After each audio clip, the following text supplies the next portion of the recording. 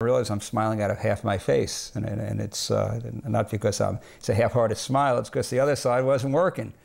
Uh, and that was really the first I noticed it. Just uh, took something to drink and I realized that maybe something was dribbling out of, out of one side and not out of the other. So uh, wake up the next morning and uh, call my doc and uh, go in there and he says, I think it's Bell's palsy.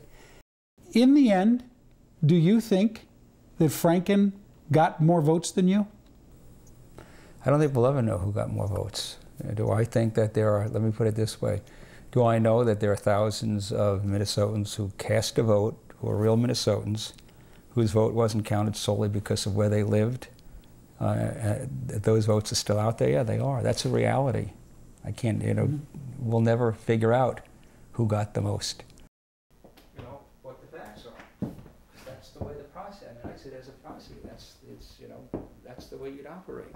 So it wasn't this kind of, I'm going to be there to defend, you know, come heck or high water. It was mm -hmm. follow the process, get the information, and make a judgment. And, you know, I was thinking, you know, the, the, the partisans would say, well,